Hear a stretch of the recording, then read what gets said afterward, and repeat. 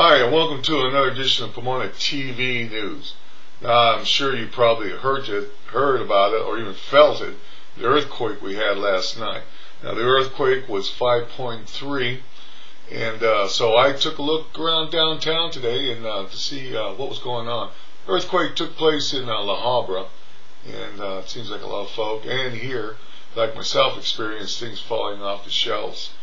Uh, I just had a couple pictures just fall over, but I'm sure other people had a little bit more damage than I did. But anyway, so I took a ride over downtown Pomona to see if there was any damage to any of our historic buildings. Now, I didn't see any damage. Of course, uh, there's always these fine hairline cracks that show up, uh, so you really got to get up to the building and look close to see if this is new or old uh, crack. But anyway, they look uh, in pretty good shape today. And uh, so that's it for the uh, earthquake report for here in Pomona. And also I will remind you that uh, today is the Antique uh, Collector Street Fair here in Pomona on 2nd Street. Uh, it starts 8. I just went by there and they're going strong right now. And so, they're an earthquake or not, they're going to show up and sell their stuff and we hope to see you there too. We'll be there, walking around checking antiques out.